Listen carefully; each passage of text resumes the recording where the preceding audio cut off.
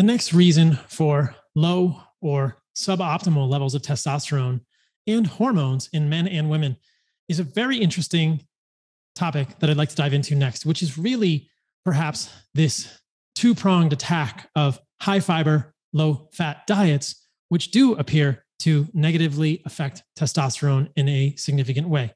So, this is a paper titled The Effects of Dietary Fat and Fiber on Plasma and Urine Androgens and Estrogens in Men, a controlled feeding study. This is not an epidemiology study.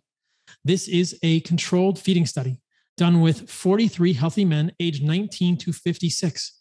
They were either randomized to a low fat, high fiber or high fat, low fiber diet for 10 weeks.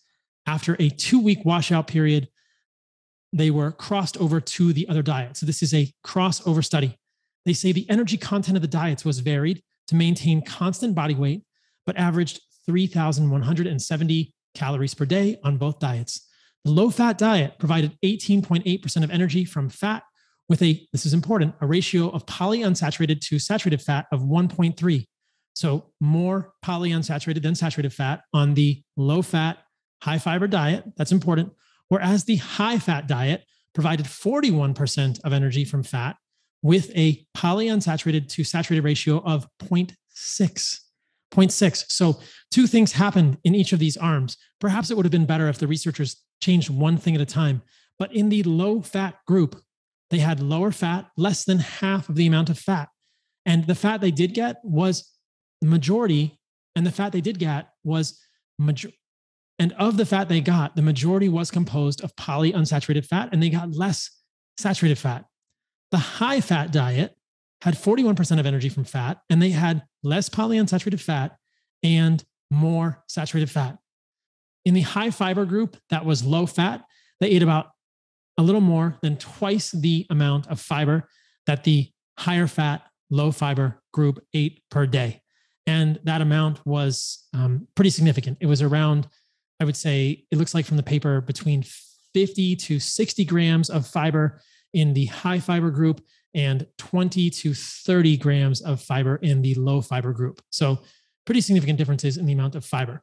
They measured plasma concentrations of total and sex hormone binding globulin bound testosterone, and they found that the um, concentrations were significantly higher, 13 and 15% higher, respectively, on the high fat, low fiber diet, which you can see here.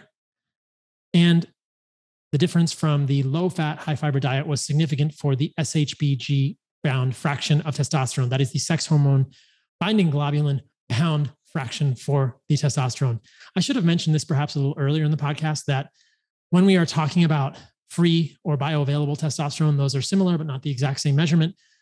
Testosterone can be bound to albumin, it can be bound to sex hormone binding globulin. And if your SHBG goes up, then your free testosterone is going to go down. So they were measuring both the bound portion and the free portion of testosterone in this study with these two interventions.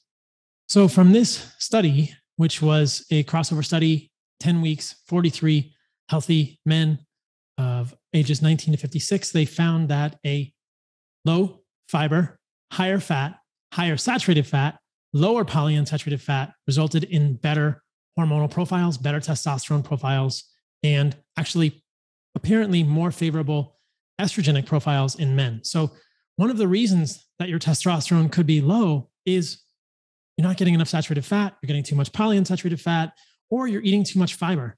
We know that lots of insoluble fiber, lots of plant fiber in general can bind to hormones in the gut and interrupt enterohepatic circulation. It's debated whether this is a good thing or a bad thing that hormones are recycled in your gut. Some people say it's a good thing, some people say it's a bad thing. But if the fiber is binding to hormones in your gut and pulling them out, it is going to decrease their absorption. It is going to decrease their recirculation and decrease your overall levels. There are studies in women that I can talk about on the podcast that will accompany this one, perhaps in the future, on women's hormones that show that women who eat more fiber have a higher rate of anovulation and a higher rate of infertility, possibly because the excess plant fiber in the gut is interrupting normal enterohepatic circulation of estrogens, which is necessary for proper cycling in many women. So, excess fiber can be problematic for humans, something that is controversial in my views, but I have talked about many times in the past. So, let's talk about another meta analysis, which shows very similar findings So I've had Joe Whittaker, the author of this meta analysis, on the podcast in the past. The title is Low Fat Diets and Testosterone in Men a Systematic Review and Meta Analysis of Intervention Studies. You can see here that there were significant decreases in sex hormones on low fat versus high fat diets. They went on to say that low fat diets appear to decrease testosterone levels in men, but further randomized control trials are needed to confirm this effect. I know that Joe was thinking about being involved in some of those, and hopefully we will see the results of them soon. But these, this is not a small meta analysis. They said that they included um, six eligible studies, a total of 206 participants. So it's reasonable. It's hard to find these studies. Many of them, like the one we just saw, are not a ton of men. There were 43 in the previous study. This is a six study meta analysis of 206 participants. So, but it's a pretty clear signal here. You can see the p values and confidence intervals if you want to read the abstract of this paper by Joe Whittaker. But I think that this is a fascinating question. It flies in the face of modern, quote unquote, colloquial wisdom, which is to limit saturated fat for cardiovascular disease reasons, probably because saturated fat will raise LDL in some individuals. But if you've listened to my other podcast, you know that I do not fear LDL that is higher in individuals who are metabolically healthy because they are including nutrient rich animal fats and organs and meat in their diets. So I don't worry about saturated fat in humans, even humans with ApoE4. And I've talked about that in previous podcasts as well.